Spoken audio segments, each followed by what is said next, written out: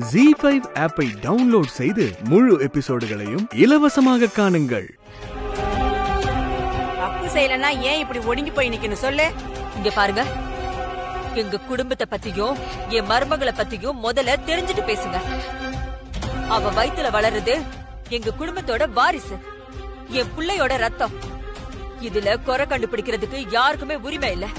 நீங்க சொல்றத நாங்க யாரும் மறுக்கலையே. உங்க மருமக வயித்துல வளருது உங்க ரத்தமாவே இருந்துட்டு போட்டோம். எங்களுக்கு என்ன வந்துச்சு? ஆனா அத உங்க பையன்ல நம்பணும்.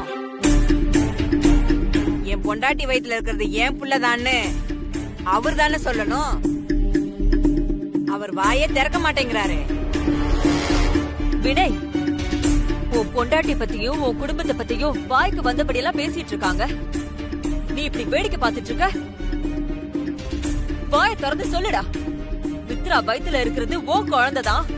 என் பொண்டாட்டி உத்தமின்னு சொல்லுடா. உன்னோட அந்த ஒரு வார்த்தையில தான் நம்ம குடும்பத்தோட எதிர்காலமே இருக்கு. வாய திறந்து சொல்லுடா. டே மாப்ள உங்க அம்மா சொல்ற மாதிரி சொல்றா. உங்க ரெண்டு பேத்துக்குள்ள என்ன பிரச்சனை வேணா இருக்கலாம். அது அப்புறம் பேசிக்கலாம். நீ இப்படி பேச முடியும்னா ஊர்ல இருக்கிறவங்கள நம்ம குடும்பத்தை பத்தி தப்பா பேசுவாங்கடா. வாய் திறந்து சொல்றா. டேய் வினய் இவ்வளவு பேர் சொல்றோம்ல. ஏன்டா அமைதியாவே இருக்க? இது நம்ம குடும்பத்தோட கௌரவ பிரச்சனைடா. பேசுற ஏதாவது.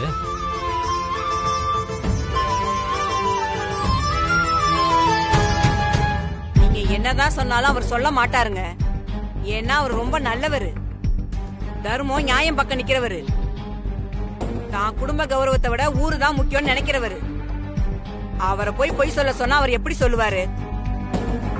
பூசாரி இதெல்லாம் விட்டுட்டு சாமி போட்டி எடுத்துட்டு வரதுக்கு வேற ஆளை ஏற்பாடு பண்ணுங்க. ஜி ஃபைவ் ஆப்பை டவுன்லோட் செய்து அனைத்து எபிசோடுகளையும் இலவசமாக பாருங்க.